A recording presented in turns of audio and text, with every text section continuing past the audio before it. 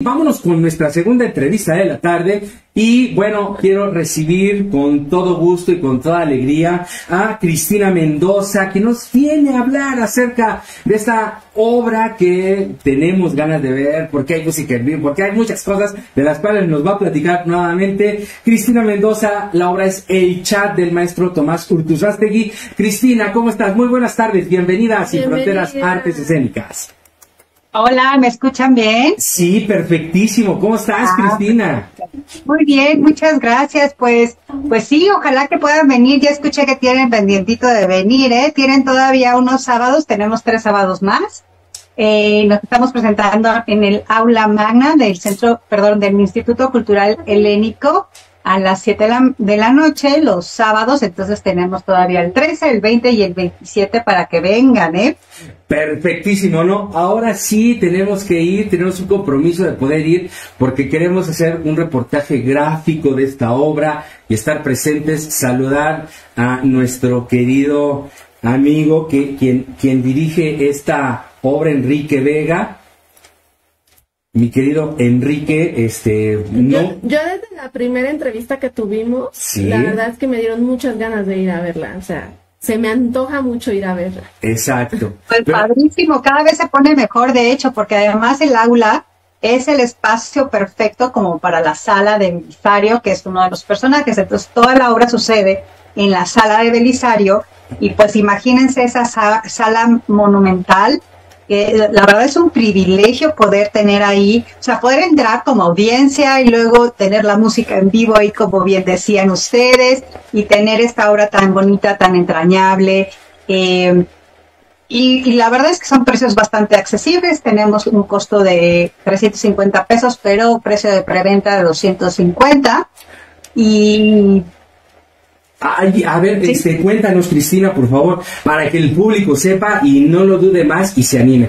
¿Cómo está el mecanismo de la preventa? ¿La preventa está de cuándo a cuándo? Para que, ¿Cómo, los pueden obtener? ¿cómo, pueden obtener ese, ese, descuento, por favor? La, los boletos están en boletopolis.com, ahí buscan el chat. Si no, en nuestras redes sociales que son C Teatralidades, pueden encontrar todos los links para, para llegar a Boletopolis. Y bueno, la pregunta es antes del, de la fecha que tú elijas, ¿no? Entonces, si tú quieres ir este sábado, pues hasta el viernes puedes comprar en preventa para la función del sábado. Entonces, yo sí les recomiendo. Eh, no sé si, si quieren que les recuerde un poquito de qué va la obra, o si ya lo platicaron. Bueno, la obra se trata de eh, dos, uh, dos amigos adultos mayores que están retirados que se juntan, pues yo creo que todos los días, no sabemos, pero bastante seguido, se juntan a echar copita y a echar un jueguito de ajedrez. Y tenemos dos personalidades muy distintas, ¿no? Uno que es un viejito refunfuñón, vamos a decirlo así, hacia esa actitud. Además, mucha gente se podría a lo mejor no dicen yo soy ese, pero sí hemos escuchado de que mi abuelito es ese, mi papá es ese, ¿no? El amigo de un amigo, ¿no? El amigo de un amigo, exacto. Y entonces, eh, esta persona, pues la verdad es que está pasando por una depresión, ha perdido a, su, a su esposa y además, pues no le va muy bien económicamente, tiene una, una pensión pues muy baja. Y pues la verdad es que tampoco tiene mucho sentido de vida, como que no sabe para dónde ir. Mientras que el otro, Belisario, el dueño de esta casa, tiene una buena pensión, tiene una casa linda y además es curioso de la tecnología, es curioso de pues de qué sigue, qué más sigue, ¿no?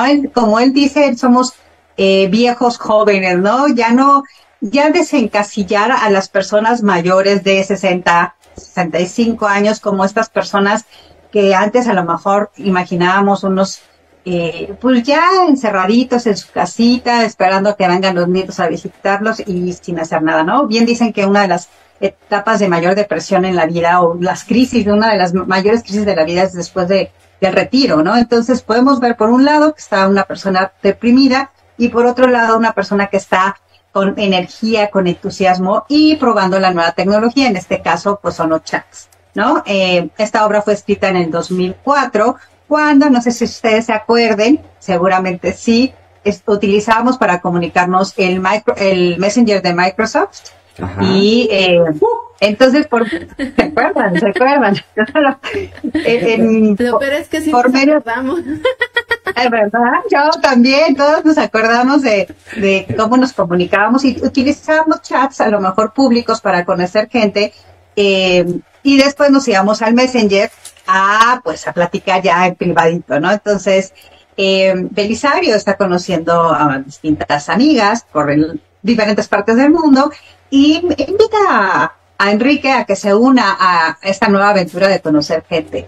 Y entonces vamos viendo cómo esto puede impactar en la vida de los dos, ¿no? En especial de, pues de, los dos, pero en especial se ve en la vida de Enrique porque, pues él, como les decía, está en una fuerte depresión, ¿no? Entonces es una obra muy linda que trata sobre la amistad en la tercera edad, sobre eh, las, las nuevas aventuras y las nuevas perspectivas y los nuevos eh, retos eh, que tenemos todas las personas cuando empezamos un nuevo periodo de vida y en este caso pues las personas de la tercera edad y ha sido muy bonito ver eh, la respuesta del público.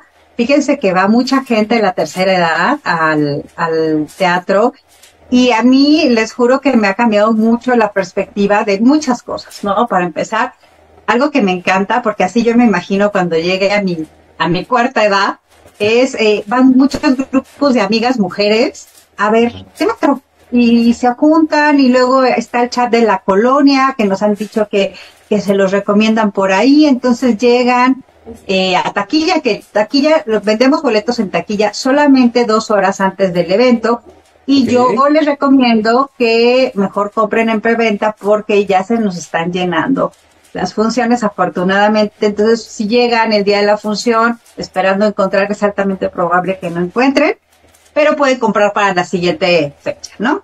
Claro. Entonces, pues vengan, vengan a verla, la verdad es que les va a, encantar, cada vez les digo, estamos los actores y músicos que están, como ya lo contaron, en, en vivo, en musicalizando la obra y tocando el saxofón y la trompeta, eh, tenemos a, a, una leyenda de jazz que es de Carly, que es productor, es este actor y también toca en vivo. Y tenemos a Carlos, a Carlos Bretón, que es un saxofonista muy bueno, que también está haciendo ahí los efectos especiales y los sonidos incidentales y tocando también eh, su saxofón en vivo. Tenemos a Enrique eh, el Pichi, Enrique este, eh, Martínez, el Saldívar, el Pichi, famosísimo Pichi, que también es eh, coprotagonista y pues como bien lo dijiste, Enrique Vega, que está eh, en la dirección, yo estoy en la parte de producción también, tenemos a Enrique Avitia en la parte de,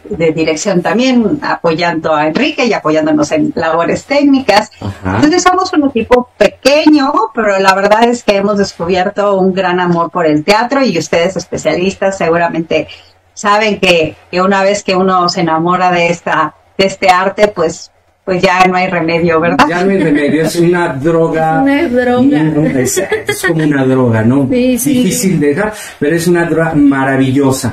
Y entonces, mira, yo creo que aquí están dados todos los ingredientes, gente súper talentosa en todas las áreas este, creativas. Eh, la verdad es que va a ser una experiencia que ustedes deben disfrutar, amigos. Yo creo, bien nos decías, ¿no? Está llegando mucha gente eh, este, mayor y demás, pero creo que también los jóvenes podemos disfrutar, bueno, los jóvenes, ya, me dije joven, es que yo, yo me creo joven porque como todavía no me sale cabello, entonces digo, ah, eso es como un bebé.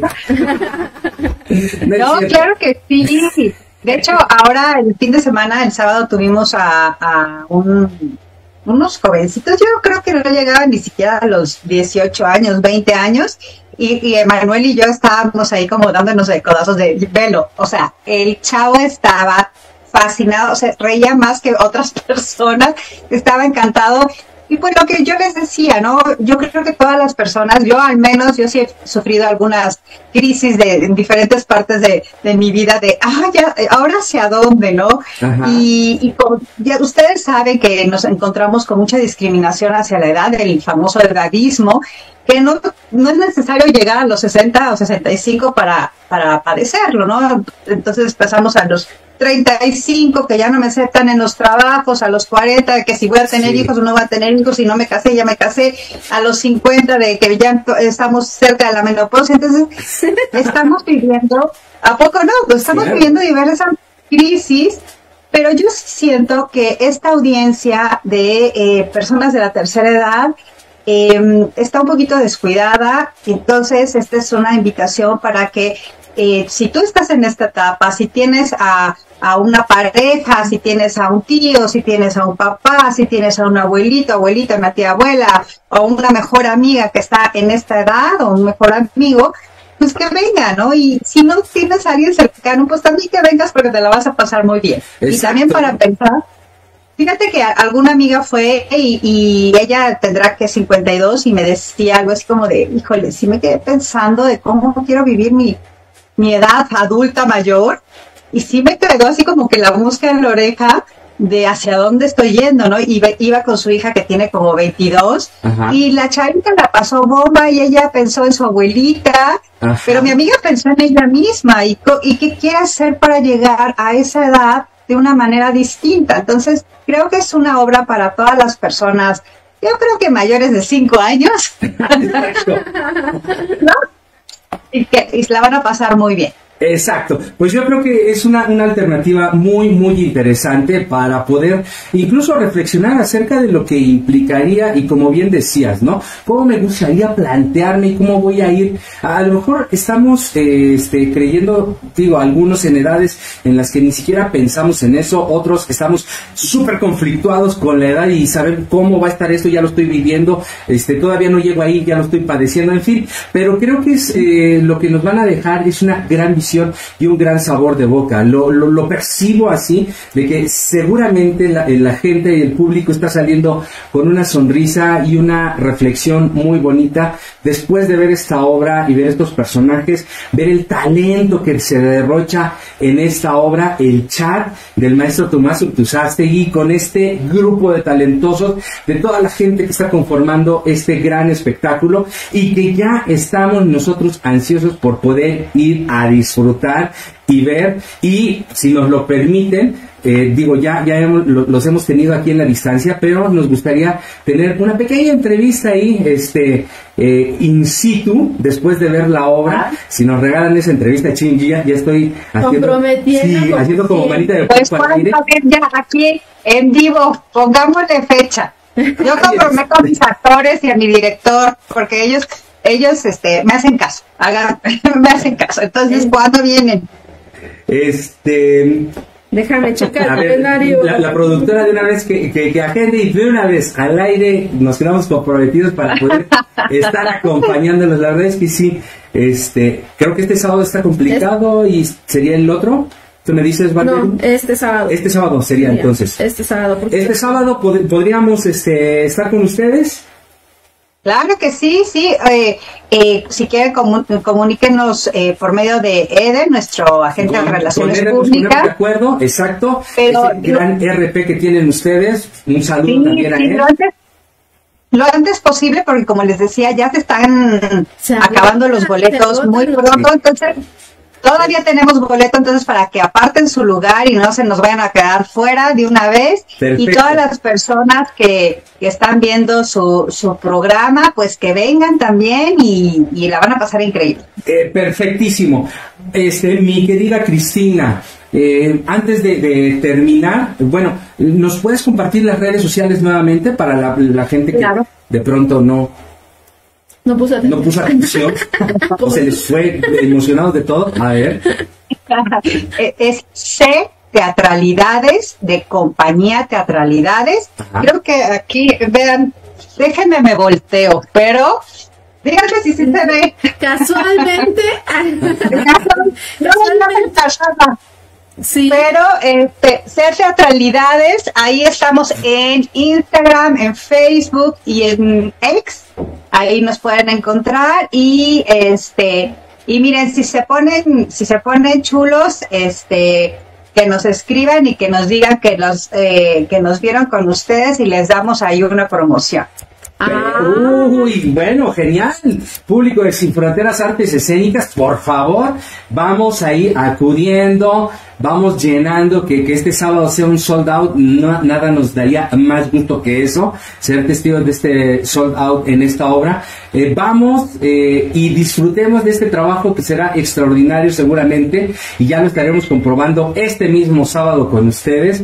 Vamos a ser testigos de este gran trabajo que están realizando con la obra El chat del maestro Tomás Urtuzastegui, ahí en el Instituto Cultural Helénico en el aula magna. Aquí les voy a poner el link, les acabo de poner el link de este la compañía Teatralidades en Facebook, ahí está, para que los que lo quieran seguir Ahí está, les acabo de poner el link. Ahí está nuestra productora ahí, pum, pum, pum, así Para que vean, para que me valoren. Muy bien, no, no, no, valoradísima nuestra productora Barbie Ávila. Productoras, ¿verdad? ¿Verdad? Bueno, hombre, tener mujeres productoras es extraordinario, son las talentosísimas.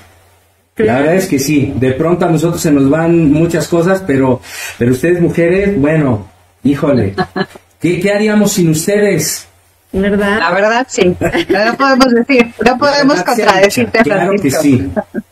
Sí, sí, sí, no. Y extraordinario que nos hayas acompañado, Cristina. Oye, queremos, antes de irnos, queremos invitarte a una dinámica que tenemos aquí en el programa que se llama Los libros tienen la respuesta. Te vamos a invitar a que formules una pregunta al universo de lo que tú quieras y nos digas un número del 1 al 300. En este, este número nos va a servir para, para, con eso vas a elegir una fábula de Esopo, que es nuestro, digamos... Patrocinadora. Nuestro, el patrocinador de esta sección. no, nuestro pitonizo. sí, sí, sí. Y entonces él va a revelar una respuesta del universo para ti.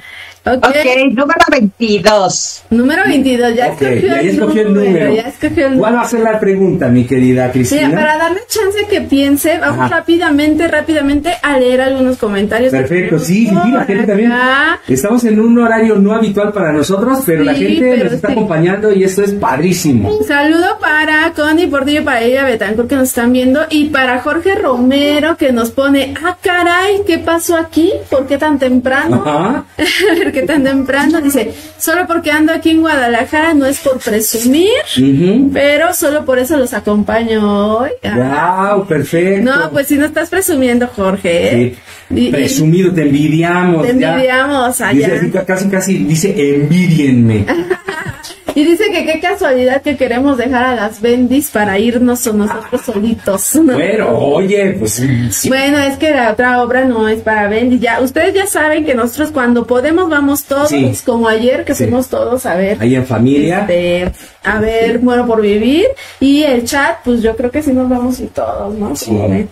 Ahí, ahí ¿qué, qué, dirán? ¿Qué dirán? Pero sus bendis son caninas o son humanas porque perritos no entran. Ah, no, ah, son no, humanos. No, Son humanos, son humanos. Nosotros este, nos reproducimos siendo humanos.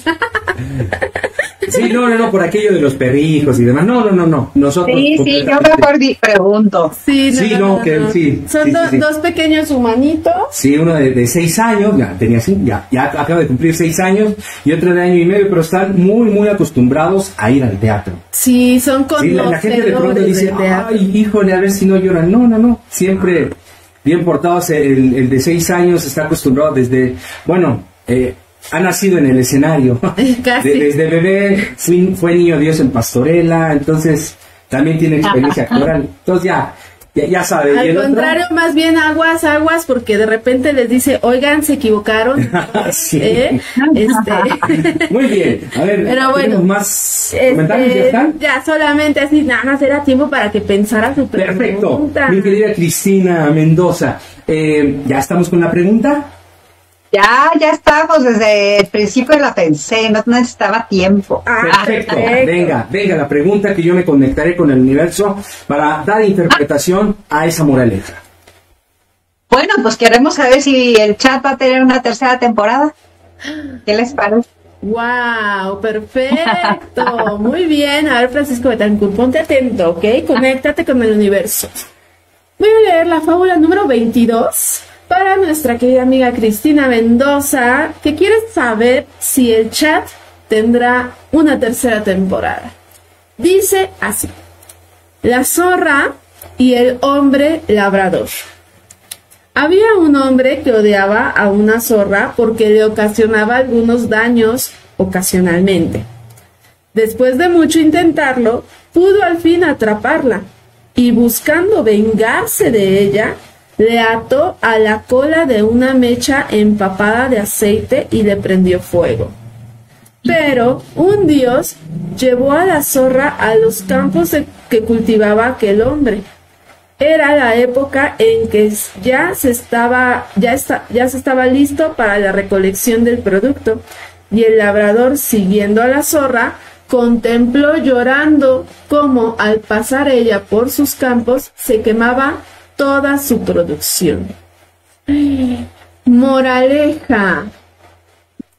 Procura ser comprensivo e indulgente, pues siempre sucede que el mal que generamos tarde o temprano se regresa en contra nuestra. ¿Qué quiere decir? Ay Dios, no sé, pero como que no me gusta la fábula. A ver, Francisco, interprétanos porque está medio... Cristina, la indulgencia se ve manifiesta en la obra El Chat, porque hacen caso. Y ustedes generan una producción para un público que ha sido olvidado. Eso es un signo de indulgencia. Tú y tu equipo no están actuando como ese hombre que quiso vengarse de ese animal. Al contrario. Y como lo que están haciendo está muy bien, ustedes tendrán una tercera, cuarta y quinta temporada. Este es el mensaje de Sopo para ustedes. ¡Bravo! ¿Qué pasó? Cristina, ¿qué pasó? Yo, yo, yo, le un poquito que, así como dice Sopo, que el mal que haces se te regresa, el bien también. Así es. Eso, eso. No, no, no. luego te cuento, luego ves el oh, Dios mío, siempre me pierdo esta parte. bueno, Cristina, no sé, bueno, puedo preguntarte, ¿gustó lo, el mensaje que te dijeron? Me gustó mucho, Francisco. Ya después verás la grabación para que veas qué me dijiste. Ok, siempre me toca eso. Oh, Dios no, es que necesitamos una conexión aquí. Perfecto. Bueno, este, hoy Cristina ha sido un deleite poder platicar contigo, disfrutar y compartir esta información acerca del el chat del maestro Tomás Urtuzasti que, este, que se estará presentando aquí en el aula magna del Instituto Cultural Helénico los días sábados a, eh, a las 7 de la noche. ¿Pueden comprar los boletos dónde? Boletopolis.com. Boletopolis. Ahí buscan el chat y ahí eh, recuerden amigos, este aprovechen la promoción hasta el viernes. Tienen el valor de preventa, así que vamos, vamos a llenar ese hermoso espacio, esa aula magna. La verdad es que será un deleite estar ahí como público. Entonces los invitamos. ¿Algo más que quieras agregar, Cristina? No, bueno, creo que no se me va nada, pero pues ahí los espero a los dos y a toda su audiencia. Y acuérdense que nada más nos quedan tres sábados ya de esta segunda temporada. Empezamos el 22 de junio. Y, pues con mucho gusto eh, ahí les vamos a dar la bienvenida. Perfectísimo. Claro que sí, ahí vamos a estar. Ahí, ahí estaremos. Este, Ahí estaremos presentes para hacer también ese reportaje gráfico y esa entrevista ya ahí en, en vivo para que este, pues nuestros amigos sepan este, de nuestras incidencias ahí disfrutando de esta obra y de estos talentosos actores y de este maravilloso equipo que seguramente está haciendo esta obra El Chat. Agradecemos a Cristina Mendoza que nos haya acompañado esta tarde, Barbie Ávila, pues vamos a despedirnos. Cristina, muchísimas gracias por estarnos acompañando, por regalarnos estos minutos para el público de Sin Fronteras Artes Escénicas. Gracias a ustedes y pues nos vemos el sábado. Claro, que, sí. ahí vamos a estar.